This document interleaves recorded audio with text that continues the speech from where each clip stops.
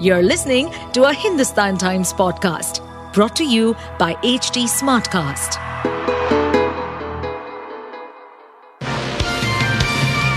Hello, these are the top news for the day. The rift in the opposition's India bloc in West Bengal surfaced on Thursday as the Congress attacked Trinamool Congress Supremo Mamata Banerjee for offering just two of the state's 42 Lok Sabha seats. Bengal Congress President Adhir Ranjan Chaudhary said his party doesn't need Banerjee's pity and can win more seats on its own.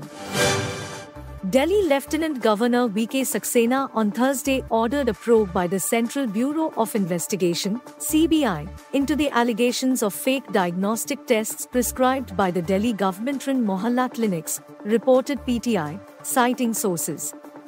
According to reports, fake mobile numbers were used to mark the entry of patients to conduct lab tests. Congress on Thursday renamed its Bharat Nyay Yatra that is scheduled to kick off from 14th January from northeastern India to the western shore. Congress General Secretary Jairam Ramesh said that the march will now be called Bharat Jodo Nyay Yatra.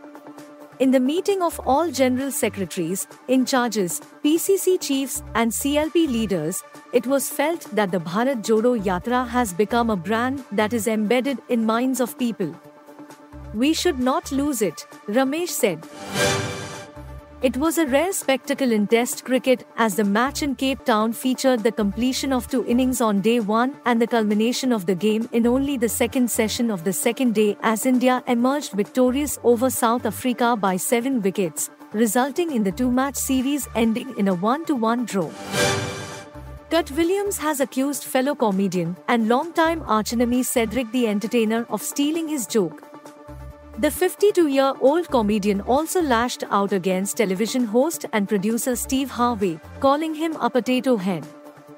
Williams alleged that the two entertainers conspired against him with TV host and comedian Rickey Smiley. You were listening to the HT Daily News Wrap, a beta production brought to you by HT Smartcast. Please give us feedback on Instagram, Twitter, and Facebook at HT Smartcast or via email to podcasts at hindustantimes.com. Until next time.